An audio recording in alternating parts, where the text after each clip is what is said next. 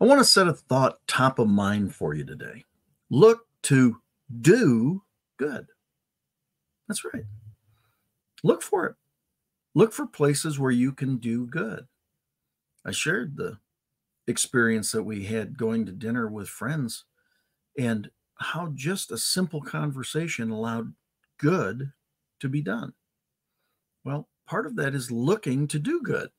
You know, there are so many different things you can help with, so many different people that eh, just need a smile, that need a little encouragement, that need a little lift in their day.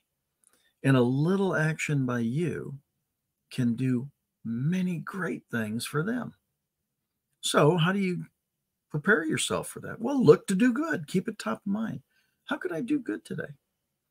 You know, what actions could you take that would put good into the world? See, ask yourself questions like that. It's amazing. The answers will show up. Now, thanks for coming here today. And if I can ever do good by helping you, email me, scott at theauthenticconnector.com.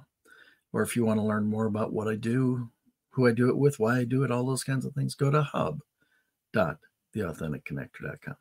Until we meet again, thanks for joining me. We'll do this again tomorrow. Come on back. See you soon. God bless.